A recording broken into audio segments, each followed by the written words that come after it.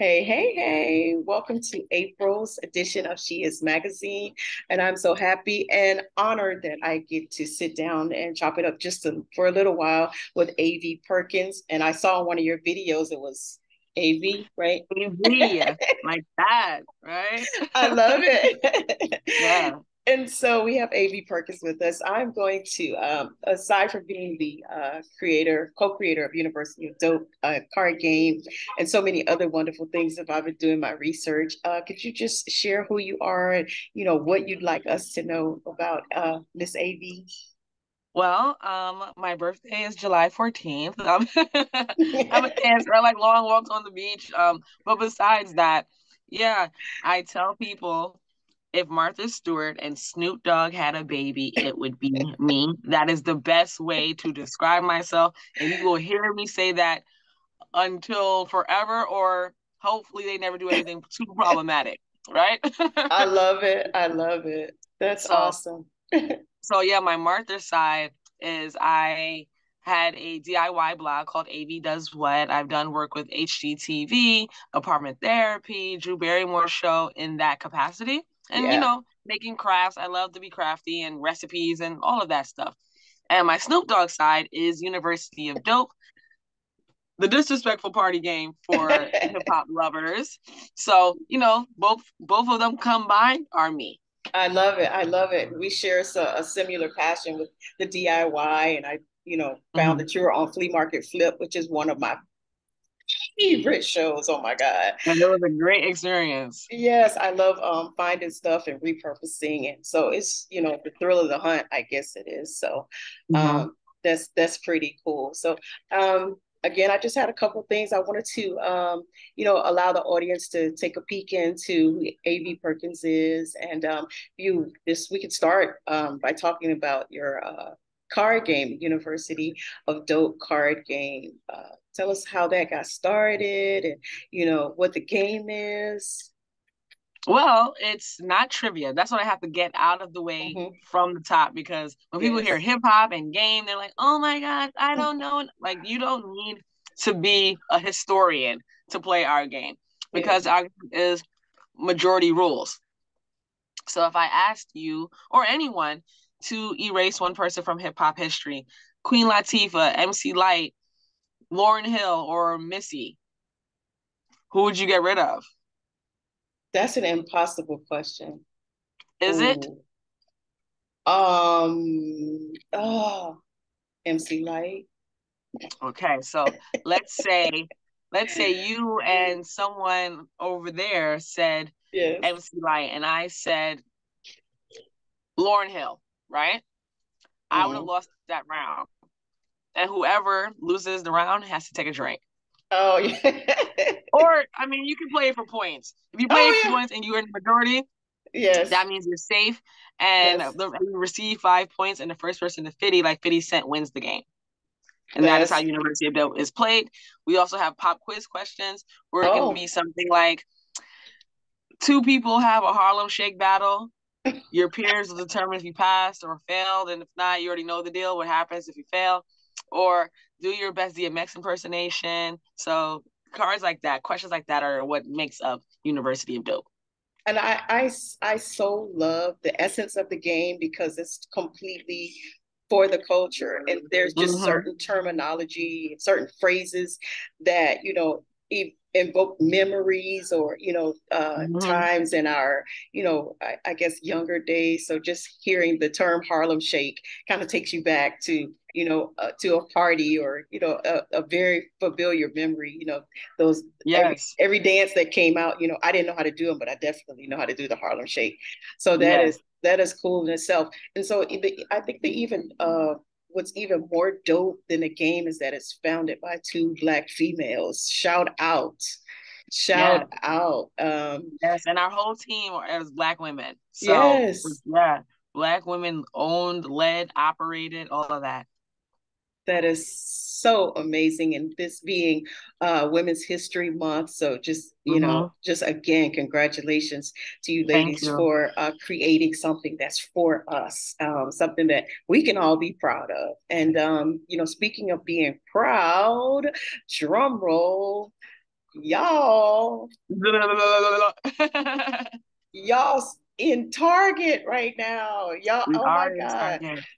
Landed in mm, Target. Yeah, it's it's been an amazing journey thus far being in Target, but yeah, we are in Target. That is so good. Nationwide. Nation, yes, it does have that nationwide. Like right out yes. there, y- y'all out there where Tabitha Brown is swimming. I'm like, y'all are like y'all really in the real target. yes, yes, yes. And when and then what was awesome is because initially, not I mean initially we were in the Black History section. Yes. With with like that whole showcase, and mm-hmm. then we mm-hmm. were right next to Tabitha Brown's things, but yes. we haven't picked up for just regular distribution. So you can mm-hmm. still go to Target now. Yes, yes, that's yeah. that is amazing. And so where did you see this game going? I mean, when when you sat down and you you know you asked your friend the question about Wu Tang, and um, you know, did you see this ending up in Target? I, I see what I see hasn't even happened yet, right? Yes. So I see like I'm very much a sky's the limit person. So like this is like yes. this is great, but this is not it. Like this is like okay, now y'all that. are starting to understand where we are mentally, but this this is this is a drop in the bucket. It's no shade, obviously. Right. Yes. We love what we have and we love our supporters, but you all have not seen nothing yet. You have not have seen the best of what we offer. So it's it's lit. I love yeah, that. There's so much more. Target is not your ceiling. I love. No, no. Oh, it's literally it's the first button. Like yes. maybe maybe it's like floor two on the elevator. that is so so good. Um, so you know, talking about hip hop and you know, uh, being a part of culture, being you know part of you know who I am as a black woman. So mm-hmm. uh, if you were, uh, want to ask you this question, if you have, were riding in a car, a four hour car ride with anybody, who mm. would it be and why? Okay. So this is like anybody ever. Anybody ever? And what y'all listening to? What y'all bopping to as you riding? wow, this is this is tough. Um, well, I want to give two of those slots to my parents, right? Yes. I go two slots to my parents. And then um huh, the other two. Um uh my my paternal grandmother. Um and the fourth slot would be I'm not even sure. I'm not even sure. I want to just put three okay. people in this in this car. yeah. so so let me let me well, ask no, you again. you know what? You know what? The fourth slot, I take that back. I'm gonna give it to my boo. Your boo. Trevor Noah. Trevor Noah is my boo. Um shouts out to Boo. So Yep. Yep. Yep. So it'll be me, my mother, my father, my uh paternal grandmother and Trevor Noah. Yes. Uh, all right. there we go. Yeah. So um next question. What's been one of your greatest accomplishments? One of my greatest accomplishments. Um I w- University of Dope, uh, for sure, because mm-hmm. you know how it how it came to be was so organic, mm-hmm. and we've gone through a lot as people, right? During this time, it's been six yes. years, almost seven years. So it's been very transformative for all of us involved, and we've become closer as friends on the team. Mm. And we've all, you know, life be life And So you have to deal with certain things, and we've persevered through, and it has paid off.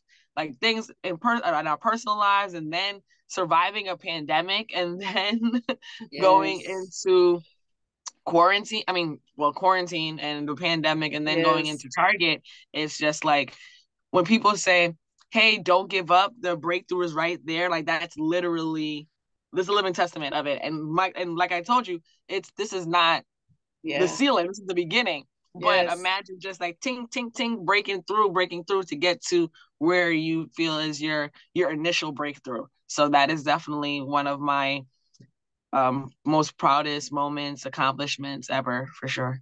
Gotcha. And what's one of your toughest obstacles, AV, that you faced as a as a I want to ask this question as a woman because I know there's yeah. certain certain areas that you know things that we have to break through just because mm-hmm. uh, you know of the gender inequality. So, what's one of the toughest things you faced as a woman?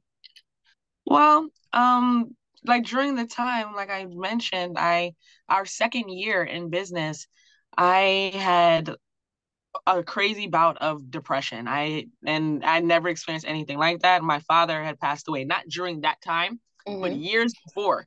But it literally cat caught up to me, and it was, how can I? I cannot run a business under these conditions, and then I cannot run my own endeavors. Like my Martha side and my Snoop side was suffering. Like it was just like there was no side. It was like AV. you gotta just like make it through. So to be able so that was definitely one of the, my biggest obstacles um ever in life but being able to persevere and get on the other side of it is very rewarding obviously yeah yeah that's that's that's awesome now you mentioned something that's you know a buzzword right now in uh, in society we're talking about mental health and depression and those things and uh, mm-hmm. since we're here how did you um, what were some of the steps? How did you dig yourself out of that place? Because it's it's a reality, especially for entrepreneurs. Um, mm-hmm. We can be depressed on Monday and lit on Thursday. Yeah. So um, you know that the depression is different from I just don't feel like myself today. Um, so yes. how did you pull yourself out of that place that you call depression? So for me, it was literally like it felt like I was drunk right? But mm-hmm. you like you know like I'm not talking like just regular. You've been drinking a little bit too much with your homegirls, like college drunkenness, right? Like really like wait, I can't see straight, you know? Mm-hmm. Like that's how it felt, but without the fun part. Yes. drinking and doing hood rat mm-hmm. stuff with your friends. So that's how for me depression felt like. It literally felt like my brain just like shut off. So it wasn't something like okay, I, I just feel sad because other positive things were going very well around me in terms mm-hmm. of business. So anyone who's ever dealing with mental health, I don't want them to ever feel like it's their fault or it's something like a direct outside influence. It's a chemical imbalance because anyone could have seen like, hey, AV, you're like winning right now, but it's like it doesn't even matter because it's like if someone's turned the light switch off in your room, right? Like the lights off, that's it. So that's how it, it felt. But what helped me was therapy. Mm-hmm. You know, um, understanding that it's not my fault. You don't have to feel any um, survivor's guilt, you mm-hmm. know, because with my father's untimely passing, a lot, I that's when I created my blog to channel those lessons and everything that he taught me. And then I got success with that. And then that eventually led to University of Dope. So then it's like, butterfly effect. Like if I went back yes. in time, if he never passed, would I have all of this? And then should I be happy that I have this? Like, do should I feel guilty that I'm like, oh my gosh, I feel so blessed, but then you don't have like your pops, right? Yeah. But I had, but I had to come to grips in terms that we're all going to, you know, transition at some point, and he is proud of me still. So, yeah. and he was before, so it it doesn't. Um, I had to let go that limiting belief, mm. thinking that okay, would this not exist if he weren't here? I can't even say that. It, maybe it could have, right? right? You always like the craft, you always like hip hop. These are not new things. So, yeah. So, coming to that realization and with therapy helped me get out of it. And then, but that resilience that was built during that time definitely prepared me for quarantine, right?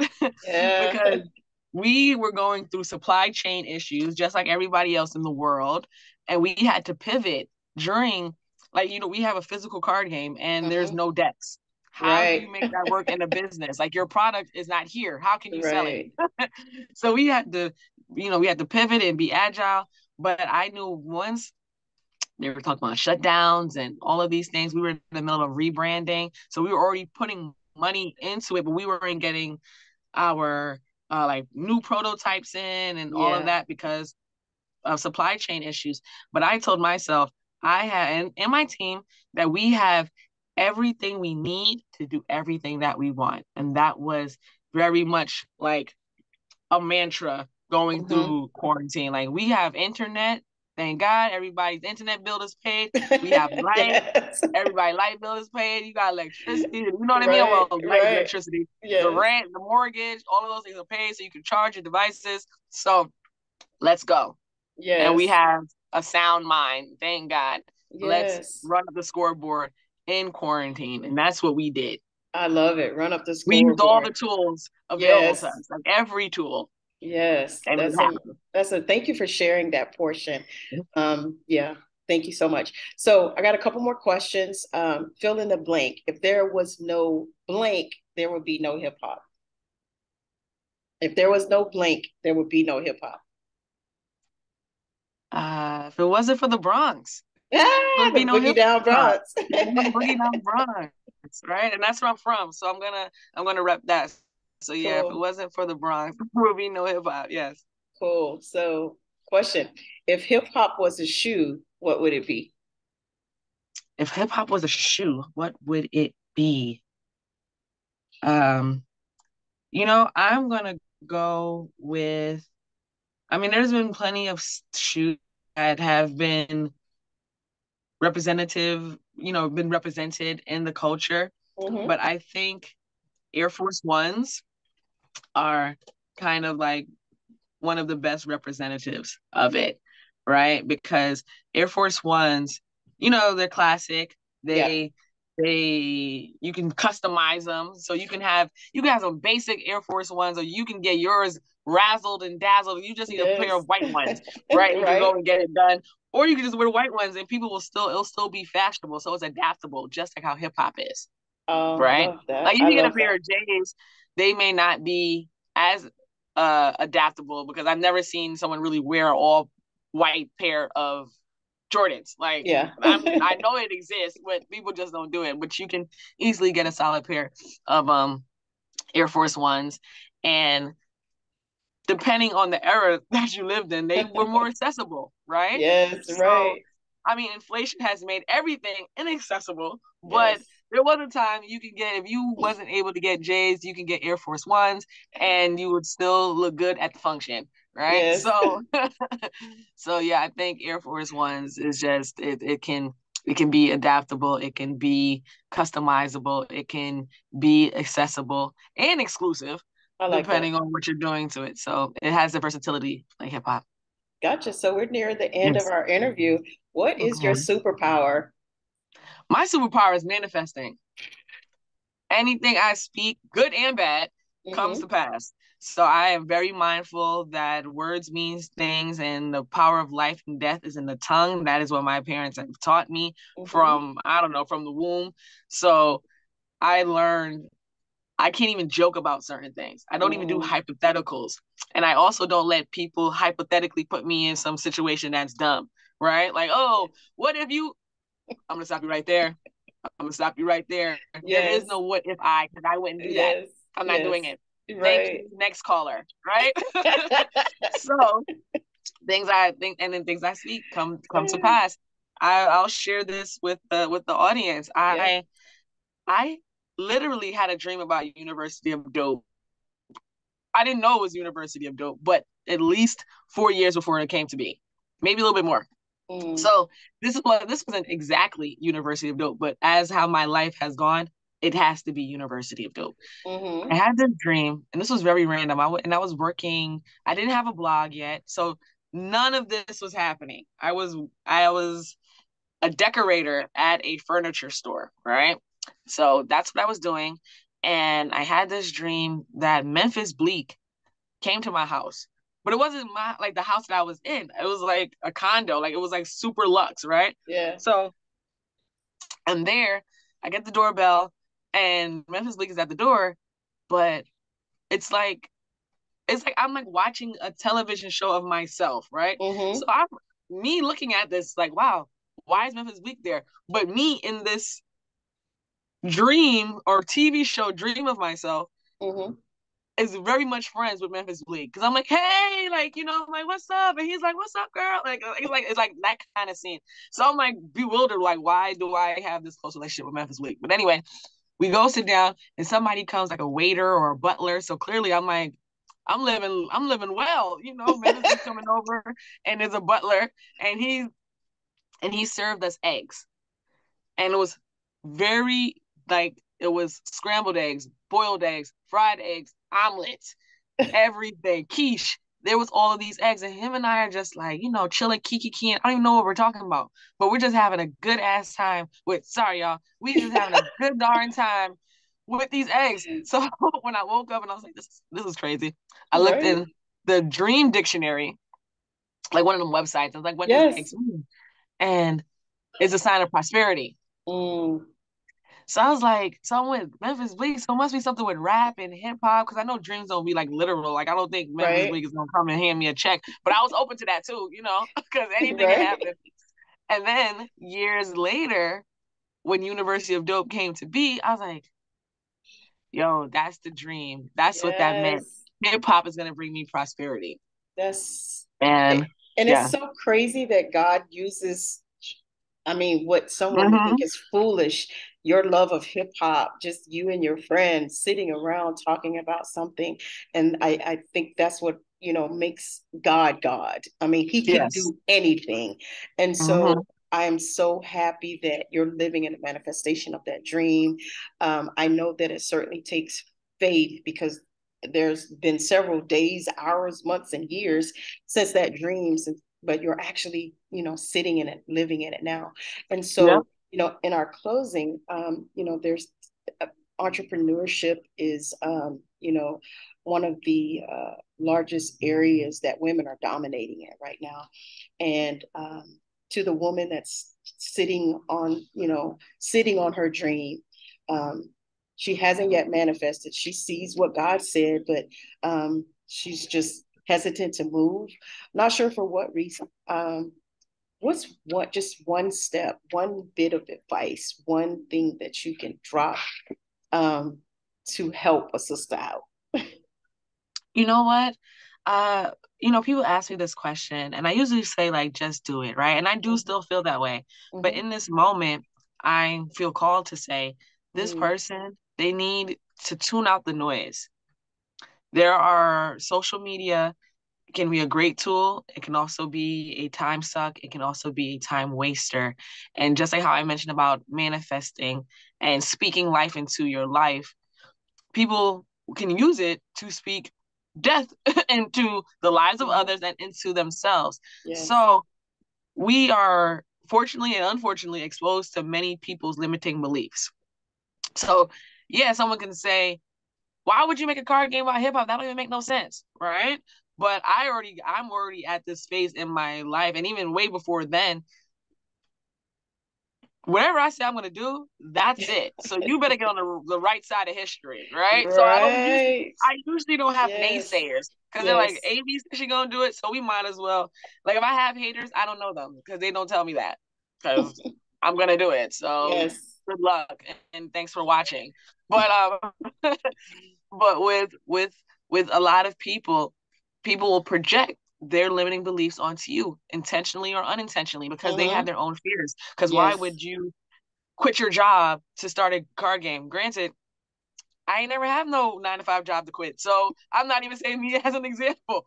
That that that um that, that yeah. that that job that that job with the that I had the dream at Yes. I was there for one year, and that was the only nine to five I've ever had in my life. So, what job were you quitting, sis? So, doesn't that doesn't matter, yes. right? But other people may be used to certain levels of security, right? So yes. it's like, oh, well, you might as well just stay here because this is the safest it can get, mm. and and in some regards, they can be right, right? Mm-hmm. So it's not like multiple things can be right at the same time, mm. but you have to tune out the noise, sit in silence and let God speak to you.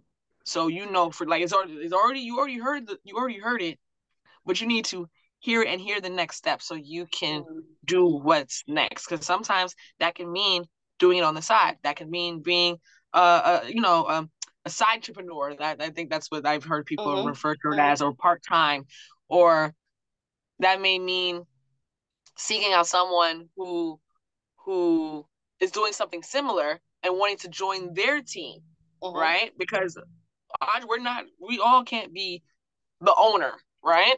Right. But you can be on a team that is fair.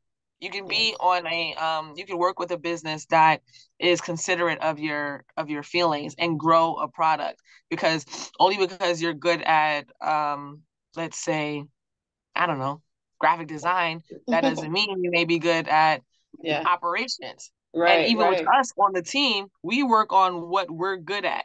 Like mm-hmm. I do the press, the marketing, social media, because I'm mm-hmm. good at the branding of of that and, and marketing. And then my business partner, she does operations because mm-hmm. she loves spreadsheets, right?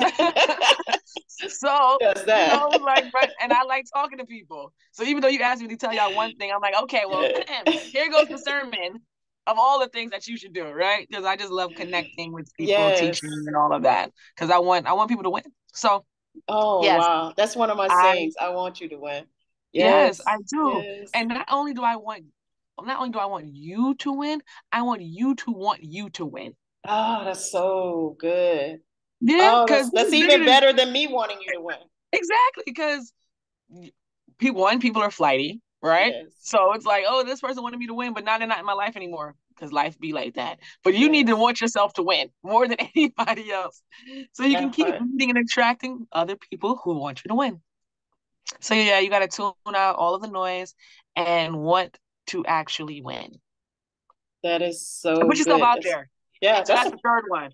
Yes, put, put yourself, yourself out, there. there. Shamelessly, shamelessly, shamelessly. Put yourself out there.